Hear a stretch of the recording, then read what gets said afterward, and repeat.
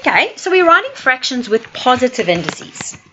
So you get a question like this. You've got A with a negative 2 indice and B with a negative 5 indice, like index, I should say.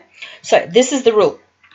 If the negative exponent is on the top of the fraction, so if it's over here at the numerator, we can write it positive by simply moving it to the bottom of the fraction. So you take it and you put him down here and he becomes positive. So as soon as he crosses that line, he becomes positive.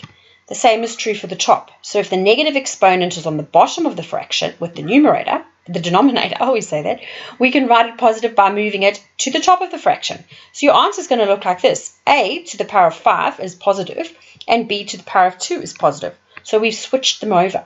So as soon as they cross the line, they change if they're negative or positive. I'm going to show you a few more examples.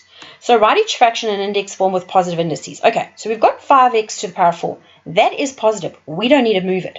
But we've got y take 7 with negative 7. Now, we're going to move that up to the top. So we've got our rule. And therefore, it leaves the bottom as nothing, which you could put a 1 into it, which would just make it a whole anyway. So the answer is 5x 4 y7. Look at this one. Write each fraction in index form with positive indices. So we've got x with negative 5 and then y with 3. Now, we don't have this in a fraction, but we can put it into 1, can't we? So if we got, want to make that positive, we've got to bring it down to the bottom and make it the denominator, and we can leave this as the numerator. There's our rule. If we move it down, there's our rule again. So now we've got y to the power of 3 remains on the top.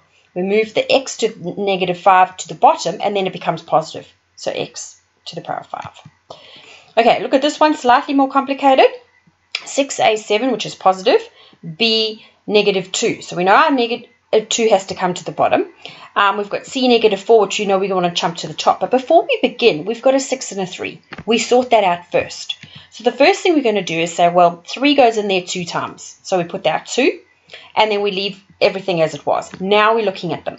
So the a7 can stay. The b um, negative 2 is going to go down to the bottom. And the c negative 4 is going to go up to the top and it's going to look like this.